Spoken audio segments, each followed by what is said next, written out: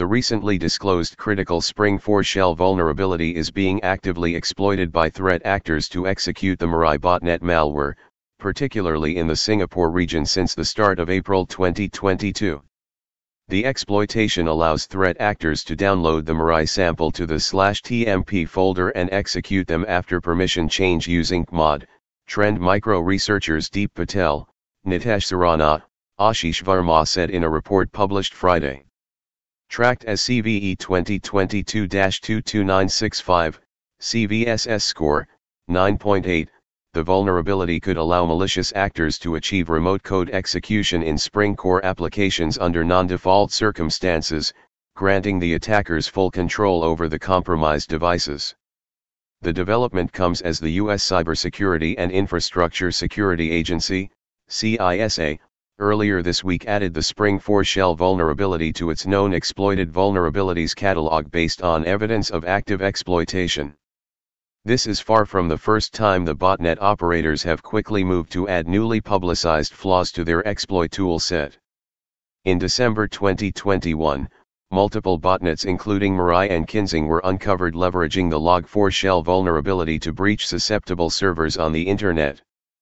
Mirai, meaning future in Japanese, is the name given to a Linux malware that has continued to target network smart home devices such as IP cameras and routers and link them together into a network of infected devices known as a botnet.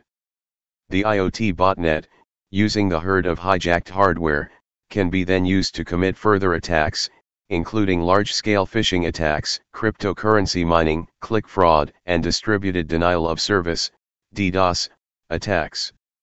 To make matters worse, the leak of Mirai's source code in October 2016 has given birth to numerous variants such as Okiru, Satori, Masuta, and Reaper, making it an ever-mutating threat.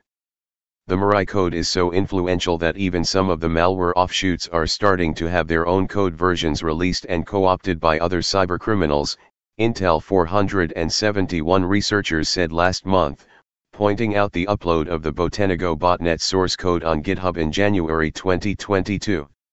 Earlier this January, cybersecurity firm CrowdStrike noted that malware hitting Linux systems increased by 35% in 2021 compared to 2020, with XorDDoS, Mirai, and Mozi malware families accounting for more than 22% of Linux targeted threats observed in the year. The primary purpose of these malware families is to compromise vulnerable internet-connected devices, amass them into botnets, and use them to perform distributed denial of service, DDoS, attacks, the researchers said.